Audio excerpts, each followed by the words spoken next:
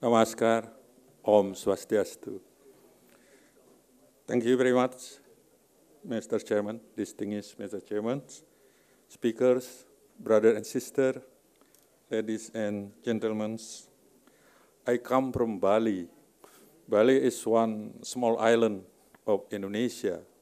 We have uh, around 4 million Hindu, Hindu people in Bali, among 250 Muslim in whole Indonesia. So we are minority there. And we, we have many, many problems on education because the education policy is very, very centralistic, all from Jakarta. Ladies and gentlemen, my presentation entitled Enhancing Quality and Collaboration Among Universities Managed by Hindus. It is very, very hard task for me. Next slide, please. Next. Yes. Uh, education is very important for society, including Hindu society. Next. As Isha Upanishad said that uh, with the aid of Vidya, we obtain the nectar of immortality. And Rishi Krishna, Rishi Krishna Dvaipayana Vyasa said that Savidya Yavikmuktaye, that learning is true learning which can liberate a learner. Next slide, please. Hindu view on modern sciences, Aparavidya, is not that it's wrong, but that it only offers a limited views of reality. Until science is able to open itself to the exploration of meta metaphysical reality, it will remain incapable of understanding the full nature of reality. Next slide, please. And uh, our problem in education, especially in Bali, I think, it consists of two problems. The first one is the quality problems, and the second one is quantity problems. I quote from Swami Arsanana, next please. Uh, okay. Uh, the drawback of our present day educational system, that our education system is a pale copy of the Western model.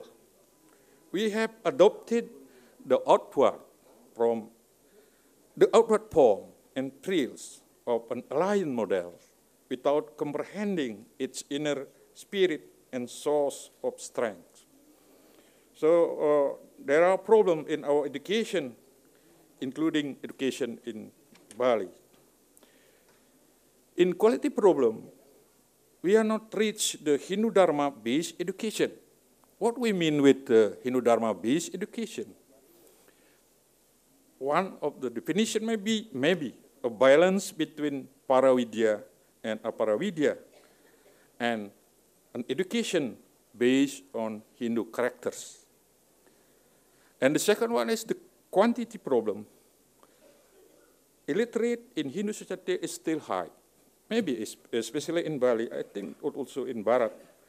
And Hindu higher education are not developed, especially outside Bharat. Next. Hindu higher education in Bali, maybe uh, I will present to you. We have two kind of universities or higher institution. First one is uh, Hindu Dharma universities that is specialist uh, study for Hindu, Hindu Dharma.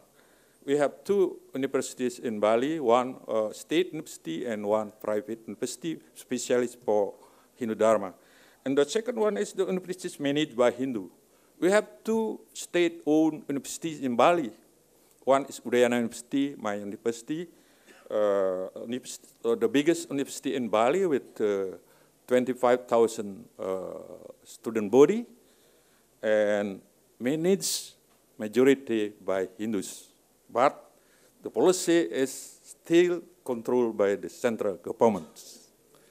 And we have, we have many, many private uh, universities in Bali. Ladies and gentlemen, Mr. Chairman, in enhancing the, yes, in enhancing quality of universities, maybe our strategies are first, strengthen the structure, curriculum, and education program. We have discussed this in previous uh, session, I think. And the second one is strengthen the human resources, lecturer and professors. And the third one is to develop a good international networking among Hindu universities. And the fourth is to solve the funding problems. Why we have to enhance collaboration between uh, among Hindu universities? Because there are discrepancies, especially of the quality between Hindu universities especially in Bharat with uh, good universities and outside Bharat with uh, very, very weak universities. So I think that collaboration and networking are very, very important. Next, yes. We, we think that many possibilities can be developed. One of this is sister university, a formal collaboration of well-established university, maybe in Bharat, with Hindu University outside Bharat that can support its young sister to develop as a good Hindu university. Second one is lecturer exchange to strengthen the quality of human resources in Hindu universities. Next slide, please. And then maybe student exchange, UN research, and scholarship. This is very important. Scholarship is very important for students in uh, outside Bharat because without this scholarship, it is very hard to majority of people to go to the higher education. So to push this majority of people, we have a scholarship. We have to have a scholarship system, and the student maybe many of them will become a lecturer and leader in Hindu society. Next. Yeah. And then uh, establishment of association of Hindu universities and universities managed by Hindu internationally. I think because it is very, very necessary for uh, Hindu outside Bharat. Because with this association, we can develop many, many programs to support young Hindu universities outside Bharat. Next. And then establishment of association of Hindu lecturers and professors. The committee said as a World Hindu Academician uh, Association. I think it's very, very important to exchange the experience, expertise of the very, very strong uh, academician, very eminent academician with the young academician in outside Bharat. I think it's very, very important. Ladies and gentlemen, uh, the funding problem. I think the funding system in Hindu University, especially outside Bharat, are very, very weak.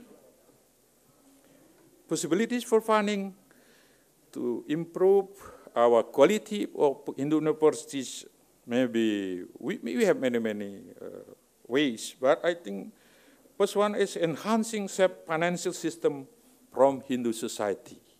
But it is very hard, it is very difficult in Bali because majority of uh, our Hindu society and Hindu people in Bali are in low grade uh, economy.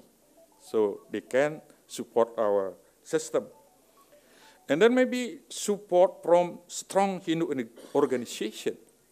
We have many, many big Hindu organization, especially in Bharat, that maybe this strong organization can support education, Hindu education, to improve the quality of Hindu society. And Hindu philanthropists. We have many strong industrialists, we have many big bankers, especially in, in Bharat, that maybe they can give support to the for funding system in our universities. Ladies and gentlemen, that to strengthen the Hindu Dharma society from challenges and threats, especially outside Bharat, education is very, very important. Because we in Bali, Indonesia, have a very, very strong threat from the uh, condition in Indonesia. Fundamentalist is very, very strong, developed in, in Indonesian society.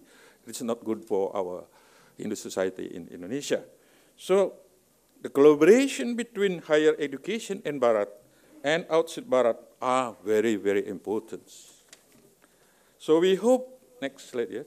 So we hope that the collaboration between Hindu universities discussion will get more attention in the next World Hindu Congress, maybe in United States in, or in 2018. I hope that this uh, have a big uh, reaction, a big, big, big support from our Hindu society in all, all, all whole, the whole world. So thank, thank you very much. Om Santi, Santi, Santi.